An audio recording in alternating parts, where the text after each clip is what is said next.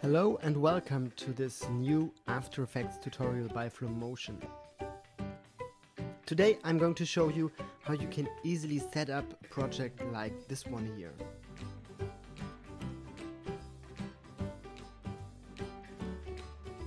Or make your text wiggle like in this example here.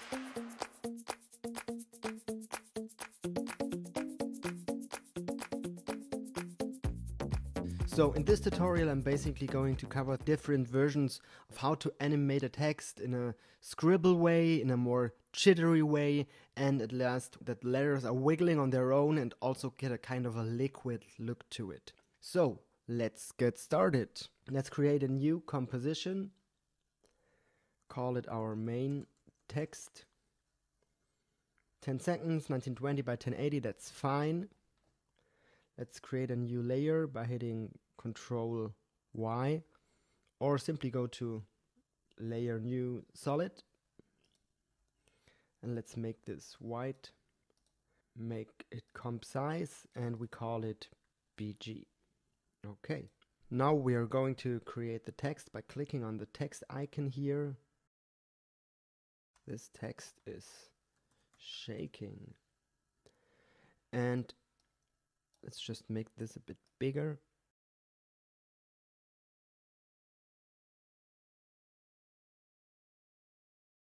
And by the way, I'm trying to get both of those lines very close to each other so that we later on, when we try to liquefy the text, get some kind of interaction between the letters. So now let's go to the Align tool. If you don't have it, you can go to Windows, Align, and just bring it into the middle of our screen.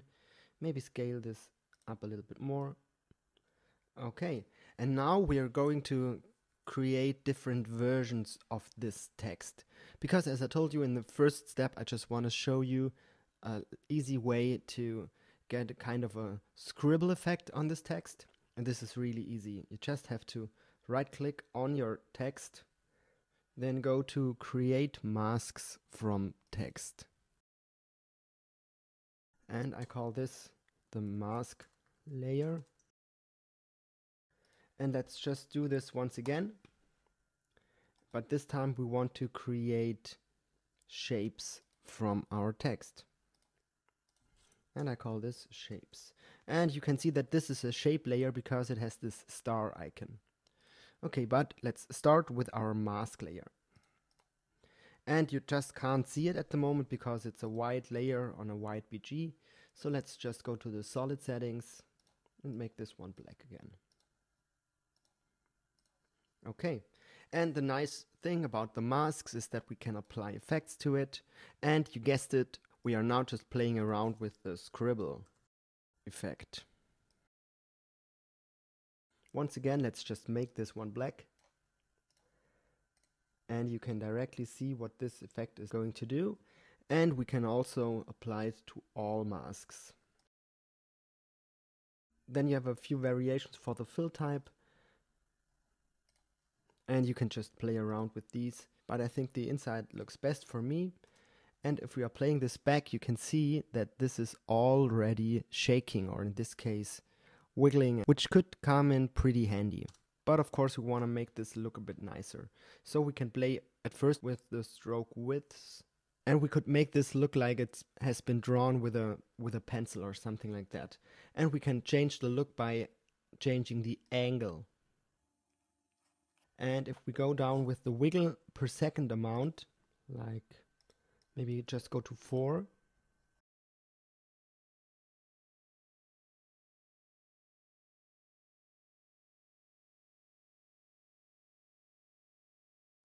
So you get this kind of shaky look. And if you want to randomize this a little bit more, this is something that I'm also using later on for the more liquefied look. You can apply a choker to it. What this is doing, it's somehow expanding or shrinking the alpha channel of that. So now let me just hide the masks real quick. And if I go up with this, you see that it shrinks all of this. But let's apply this in a different way. Let's just extend it until we are filling holes and gaps in between the letters and after that duplicating it and go in the other way.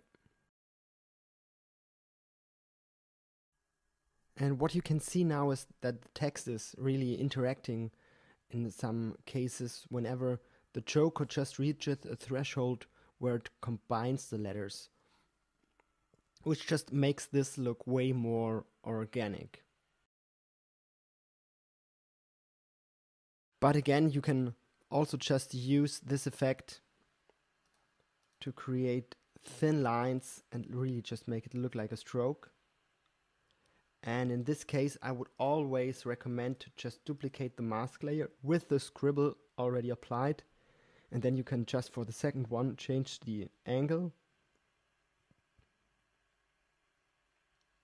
And also go into the stroke options and make it a little bit more curvy and just bring in a little bit more of a variation there. And really start to create an interesting look for all of that. Okay, but as I said, this was the first version of a text scribble. Now let's go to version 2, where we still have our BG and our base text. Let's just go to the text that we still have here in the original text layer and we can click on the animate. At first let's enable the per character 3D. In this way we have each character separately. Now once again go to animate and we want to for example animate the position and there we have an animator now and we go to the selector wiggly now what we can do is we can start playing around with the position. And as you see this is really in 3D space now. And if we play this back you can see that this text is really starting to shake around. And of course, you can do the same with rotation, scale, skew, whatever you want.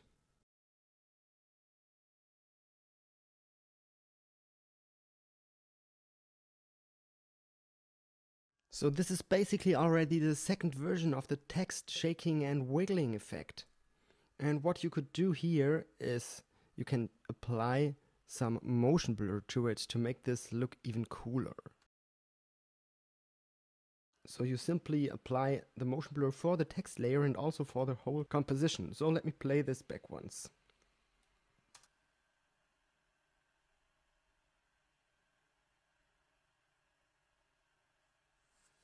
Looking really cool and as I told you before, we are now also in 3D space. So we could easily set a new camera, layer a new camera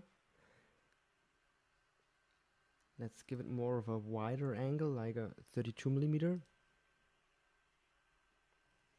And we could orbit around now. By just hitting C, we get the camera options. And you see, this is fully 3D now.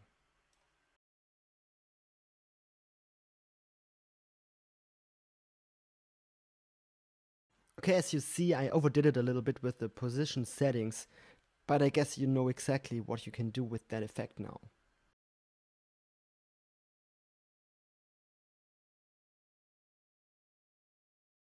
Awesome, and that's it already with the version 2 of our text shaking effect.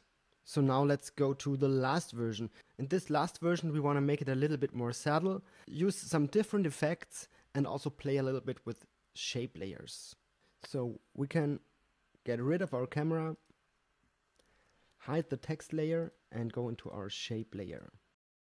Exactly the same starting as before. So now for the shapes, we can go to the content and there we have all of our different shapes. And as before, we can just add effects from this small add menu here. So in this case, we want to add something like a wiggle path effect to make it a little bit shaky. As you see, it already applied the effect, but this is of course a little bit strong. So we just go down with the detail and also play with the size of this.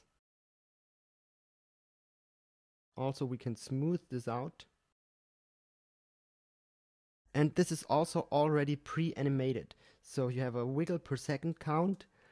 And if you take a look at this,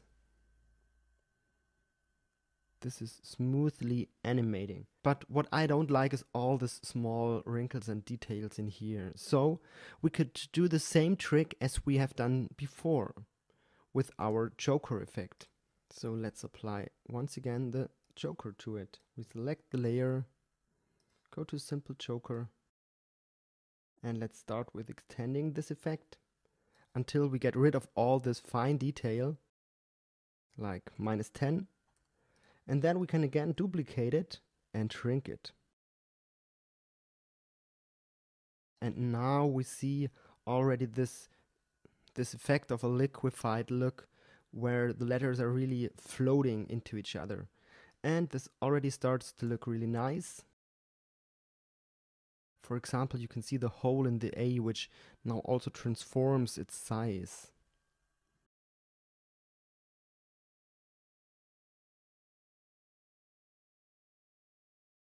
Really nice. And of course you could add more effects to this, like for example a twist. And just play around a little bit with those settings to get exactly the look that you're after. And also, small tip from my side is to make it look a little bit more organic at the end, you could add something like a turbulent displace, which just gives it a more overall look. And you can apply this before applying the simple choker. In this case, you are bending the text before the liquefied effect starts taking place. And of course, the amount is a little bit high, so let's maybe go down to something around 20. Still a little bit much. Maybe we also go down with the twist. And of course, you can also keyframe that so that also this makes kind of a small animation. And to do that, you could either set two keyframes starting with 0 degrees and at the end something like 360. But you could also do this with an expression. You just hold down the Alt button, click on the stopwatch for the evolution, and then you could put in time times, for example, 120. And that means you have a value of 0 when the time is at 0 because 0 times 120 is 0. And then when we go forward to the one second mark, you have one second times 120 is 120 degrees, two times is 240 degrees, and so on and so on. So it's continuously animating no matter how long your composition will be.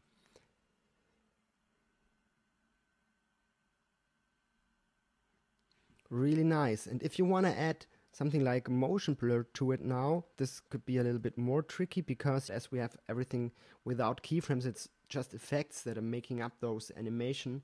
You want to use something like a pixel motion blur.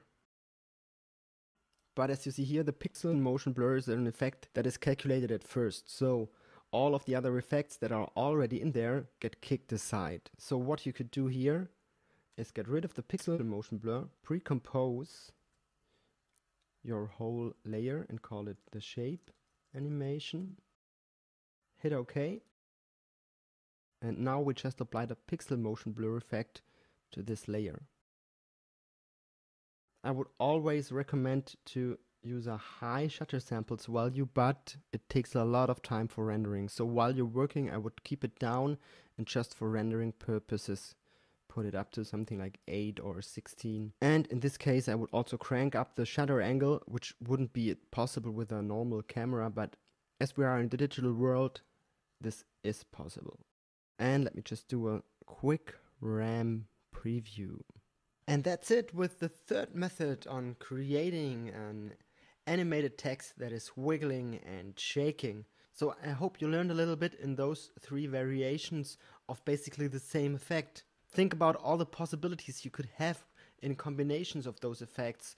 And don't just think about animating text with that. I'm thinking about animating like water or blood or just a kind of smoky, ghosty effect. So let's see what you are creating with these effects. And in the meantime, I wish you a lot of fun in After Effects.